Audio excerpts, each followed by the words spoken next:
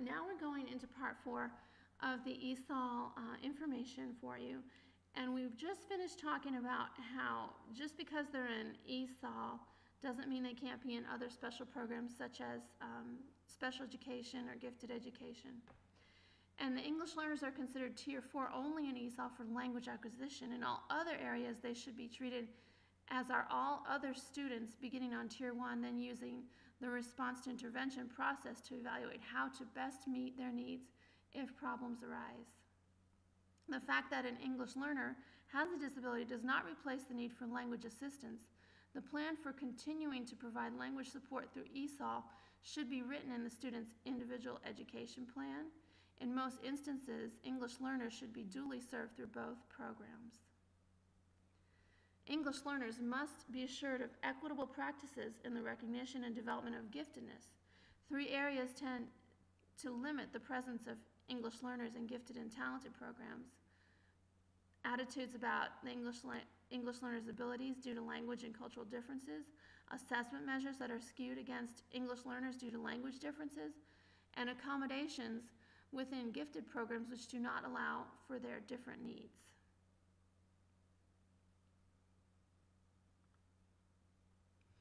Okay, now we're going to go back to the WIDA website and look at some of the resources you can access on the site. First you log in, and then you'll see Standards and Instruction, English Language Proficiency. You can search the ELP standards, can-do descriptors, uh, all of these things here for you to discover.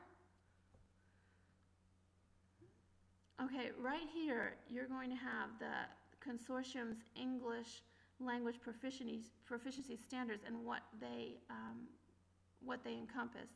And over here, you're, gonna, you're going to be able to find um, uh, PDFs on these standards, which I'll, I'll also be posting on our website in Blackboard. But you can find them there. Here's a draft of the 2012 standards um, up and coming. Okay, uh, this is really uh, also very, um, very helpful when you can go in here, and it's not completely developed yet, but you can go in here and find resources according to grade level, according to the framework or the uh, English language proficiency standard, language domain. You can go ahead and put these in here and search for these. Now, they haven't been fully developed, but they're um, currently working um, to add more, um, more resources here. Also, these can-do descriptors by grade level, uh, that's where you'll find them right here on the WIDA site. And the test forms, you can download the test forms, all grade levels. As you can see, kindergarten all the way to 12th grade in here. Uh, this, the WAP score calculator is in here. Okay, and this concludes our first um, PowerPoint, courtesy of Louisa Melton from Spalding County Schools. And um, hope this has been helpful to you and that you get a chance to go through those uh, resources on the WIDA site to help you with your students. Thank you and bye-bye.